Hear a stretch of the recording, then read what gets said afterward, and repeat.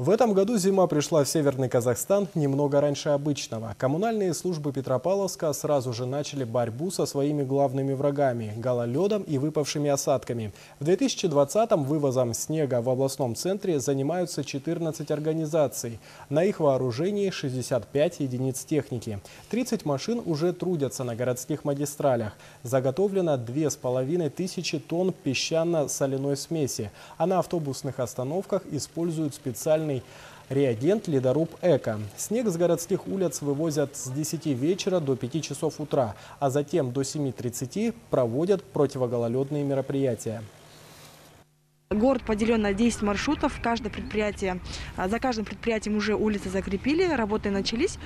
А, на сегодняшний день ежедневно уже на маршрут выходит порядка 30 единиц техники. Это погрузчики, грейдера и щетки. А, помимо очистки и вывоза снега на улицах города проводят работы по очистке тротуаров, подсыпке тротуаров пескосоляной смесью.